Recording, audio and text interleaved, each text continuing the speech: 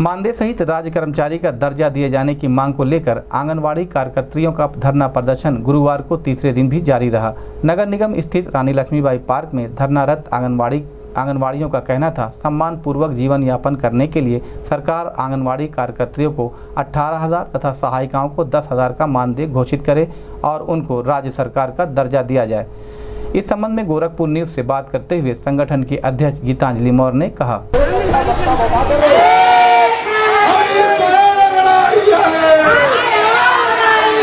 हमारी मांगें पूरी करो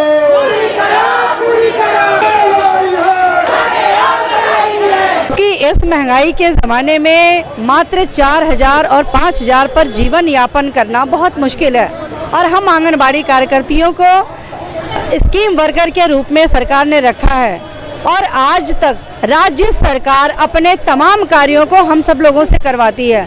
जैसे जनगणना है, बीएलओ की ड्यूटी है, ओडीएफ की ड्यूटी है, दवाइयों का वितरण है, तमाम रैलियों का आयोजन है। और कोई संसाधन भी नहीं मिलता। उन्हीं पाँच, साढ़े पाँच हज़ार रुपये में आज हमें सारे रिपोर्टिंग भी करनी है, अपने संसाधन भी इकट्ठे करने हैं, तमाम मीटिंग और रैलियों में भी जाना है। और अपने जीविका भी चलानी है। और सुबह चार बजे से लेकर रात्रि छः बजे, आठ बजे तक के वर्क हम आंगनबाड़ी कार्यकर्तियों से ये राज्य सरकार करा रही है।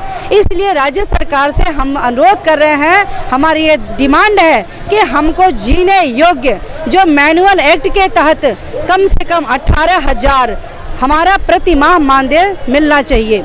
और इस तरह के मांग को लेकर के तमाम कई दिनों, कई महीनों से, सालों से हमारा धरना प्रदर्शन चलता चला आ रहा है। आंगनबाड़ी कार्यकर्तियों सहायिकाओं को पारिश्रमिक दिया जाएगा, सम्मानजनक, लेकिन अभी स्थिति खराब होने के नाते फ़िलहाल आंगनबाड़ी कार्यकर्तियों को दस हज़ार, सहायिकाओं को पाँच हज़ार रुपये मानसिक मानदेय दिया जाएगा और यह बढ़ोतरी एक अप्रैल 2018 से लागू हो जाएगी। लेकिन अभी तक यह बढ़ोतरी नहीं लागू हुई, जिसकी वजह से पूरे प्रदेश की पौने चार लाख परिवार की जो कार्यकर्तियाँ हैं, इन सब लोगों में भारी निराशा और बेहद आकार तारीख तक काली पट्टी बाँध करके भी जब कार्य करने पे कोई निर्णय नहीं आया तो विवस्था थी संगठन की, चूँकि संगठन के प्रदेश कार्यकर्ताओं पर बेहद दबाव और आंगनबाड़ियों का आक्रोश हम सब लोगों के ऊपर आया।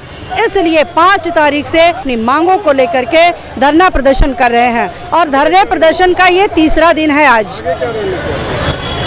आगे 10 तारीख तक हमारा यह कार्यक्रम जिला मुख्यालयों पर चलेगा और अगर 10 तारीख तक सरकार की तरफ़ से कोई ठोस निर्णय नहीं आता है तो विवश होकर के हम पूरे प्रदेश की आंगनबाड़ी और सहायिकाएँ लखनऊ के लिए कूच करेंगी। प्रदेश मुख्यालय पर इको गार्डन में पहुंचेंगी, जहाँ महा हड़ताल और विशाल धरना प्रदर्शन होगा।